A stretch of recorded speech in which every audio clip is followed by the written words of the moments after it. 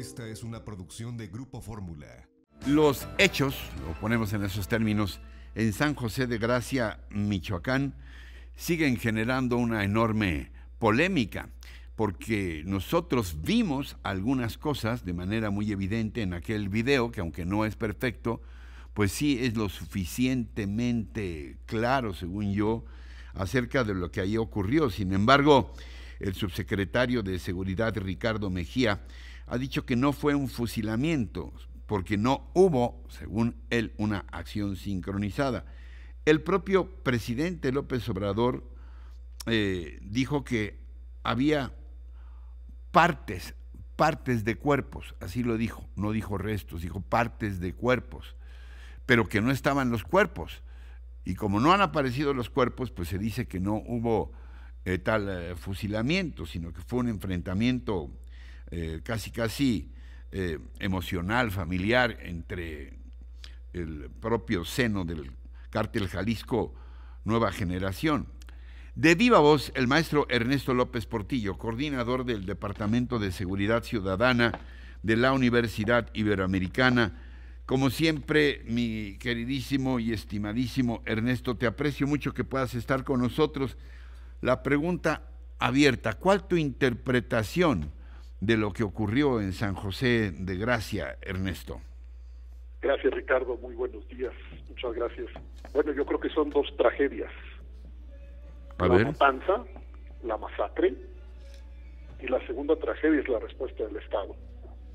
Son mm. dos tragedias, no es una. Estamos discutiendo sobre la semántica de los hechos en medio de una crisis crónica totalmente fuera de control, desproporcionada, de violencia homicida a manos de la delincuencia organizada. La preocupación principal es si fue o no fue un fusilamiento, cuando lo que tenemos es una masacre. La masacre puede tener distintos formatos, pero es una masacre. Mm. Y es una masacre en un lugar en donde la respuesta de la autoridad en ese mismo lugar no es la adecuada. De hecho, pasaron horas y horas antes de que arribaran las autoridades en una acción coordinada. Pero segundo, esto no se alcanza a reconocer como lo que es un tejido de delincuencia organizada, armada, que se enfrenta aquí y allá sin control alguno, sin costos particularmente relacionados con el castigo y la justicia, y seguimos centrados en una discusión de narrativas. Es muy impactante, Ricardo, muy impactante que el jefe de Estado esté fundamentalmente ocupado en cómo se le va a llamar a esto antes que se nos diga en este como en tantos otros casos cómo se va a asegurar la justicia. Pero además hay otro ángulo muy inquietante, Ricardo. A ver. Y es el hecho de que a las 24, 48 horas, presenta el gobierno federal una interpretación de los hechos que supuestamente incluye no solamente una reconstrucción parcial, ciertamente, pero importante de lo que habría sucedido, sino que además incluye una interpretación sobre la intencionalidad de estos de esta masacre y entonces nos hemos hecho una pregunta públicamente.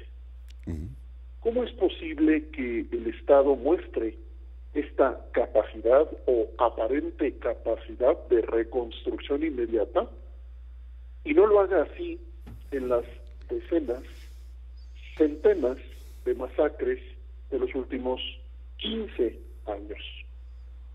¿Por qué el Estado puede a veces reconstruir hechos rápido y no lo puede hacer en la inmensa mayoría de los casos con una impunidad de 90% en los homicidios violentos. Ricardo, México es un país que no tiene versiones oficiales de qué pasa con la delincuencia organizada probadas en juicio. Las versiones que tenemos son versiones políticas, versiones mediáticas, pero no tenemos versiones construidas en expedientes judiciales probados, esas versiones probadas en los juicios frente a los jueces que lleven a las sentencias y a las condenas de los responsables de estas atrocidades. Así que en síntesis, Ricardo, Sí. está, está descompuesta la, convivencia por una afectación de violencias extremas incontenible, pero también está descompuesta profundamente la respuesta del Estado, Ricardo.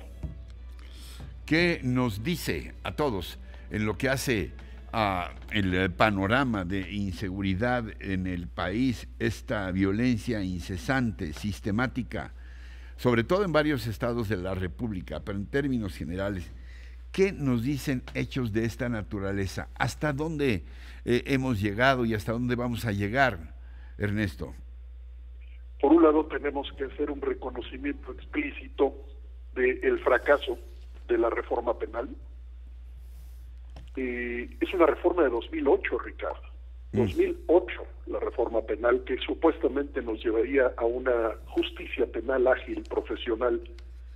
Tenemos que reconocer, por otro lado, el rotundo fracaso en el inmenso, en, en la inmensa mayoría del territorio de la llamada autonomía de las fiscalías. No tenemos fiscalías profesionales que rindan cuentas en la inmensa mayoría del país y no sabemos qué vamos a hacer con eso. Ese es el segundo gran fracaso. Pero por otro lado, es el tejido social, Ricardo. El índice global de delincuencia organizada 2021, recién publicado, índice global de delincuencia organizada 2021, colocó a México en el cuarto lugar, cuarto lugar de afectación en el mundo. Es el cuarto país más afectado, el nuestro, en delincuencia organizada, con una altísima incidencia de este fenómeno y una bajísima capacidad de resiliencia, que es la manera como las sociedades, los estados logran remontar las crisis de violencia en este caso. Esta combinación nos deja con preguntas, Ricardo, y no con respuestas. Reforma penal fallida, fiscalías autónomas fallidas, delincuencia organizada desatada y resiliencia en un nivel bajísimo que no permite recomponer tejido social e instituciones. Estamos, pues, no sé en qué nivel de, del fondo de esta crisis, y porque parece desfondada, Ricardo, porque no importa cuánto tiempo pase, eh, las masacres avanzan, eh, es cada vez más joven la gente que toma armas para matar a otras personas, es una crisis que, que golpea ya no solo a la adolescencia, sino que también estamos viendo incluso a niños armados ya en la delincuencia organizada en este país.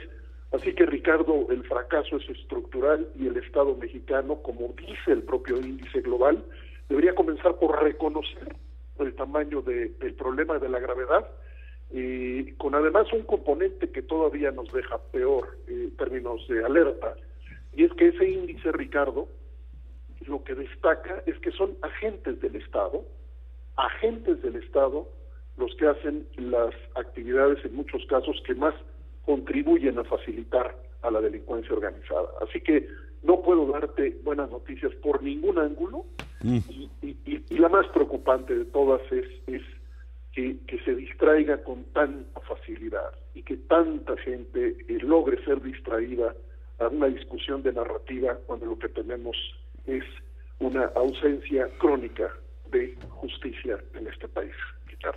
Eh, algo más que puntualizar. Bueno, creo que has, has sido como siempre contundente y muy claro, pero no sé si hay algo más que quieras puntualizar que no te haya eh, preguntado Ernesto sobre este tema que eh, es tu, tu- tu pasión y tu vida.